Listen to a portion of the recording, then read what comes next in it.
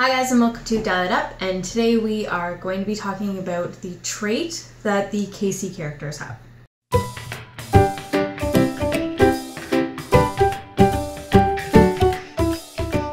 Characters have. So in the World Finest set, the Chase characters um, that came out were the KC figures and all of them actually have a shared trait. Now, this has actually caused a lot of confusion across everybody, even up until WizKids made their ruling on it, and then there was even some further confusion. So, hopefully, I just want to clear this up for everybody. So, the trade itself is we will make things right again.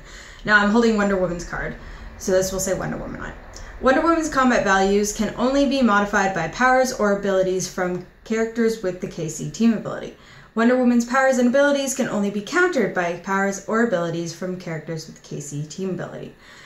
Now, this has actually been ruled from the WES, the WizKids event system, uh, their rules form that the only thing that is going to affect these characters, so a modification mostly is primarily the focus for this, is anything that is actually physically on their card or their dial.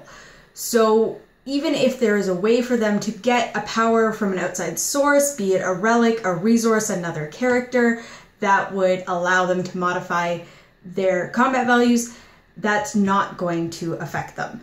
Even game effects, even the map as a game effect or any other game effect is not going to be able to modify their combat values. Nothing unless it is a power that is on their card or dial, they are not going to have their combat values modified, which also includes the hindering terrain bonus and uh, anything else, like I said, that would be added on to them through an outside source. Now, with certain characters like Wonder Woman, uh, have super strength. Now, they have it has been ruled that the ability to use an object is an ability that all characters have, and so that is something that will allow them to modify their damage with an object if they carry it through the super strength. So even though that kind of seems like an exception, it isn't technically when it comes down to the ruling of it because they're saying that holding an object is something that all characters can do, so it is a power or ability coming from that character. So even if you somehow get on top of there like an ATA, uh, this was part of the discussion in the rules forum, um, an ATA that would add to your combat modifiers, uh, like the Kryptonian for Superman, uh, or there's a Justice League one that adds to attack. Even though the ATA is considered a team ability that a character possesses, it's still not going to affect the KC figures.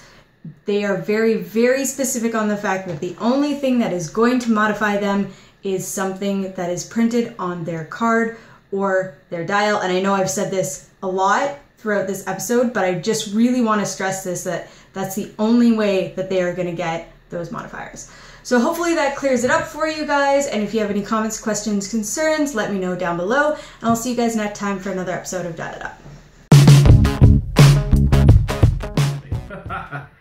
Married With Clix is brought to you in part by MajestixCCG.com. Check out the new premium site with MajestixCCG.com slash apex-insiders.